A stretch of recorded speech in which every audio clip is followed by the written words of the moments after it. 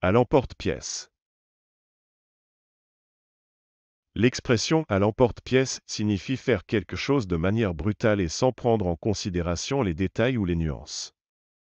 Par exemple, si quelqu'un critique un livre en disant c'est nul, sans donner aucune explication ou justification, il donne un avis à l'emporte-pièce.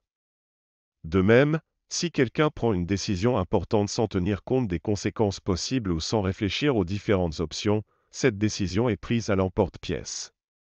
En résumé, l'expression à l'emporte-pièce est utilisée pour décrire une action qui est effectuée de manière rapide, impulsive et sans prendre en compte les détails ou les nuances.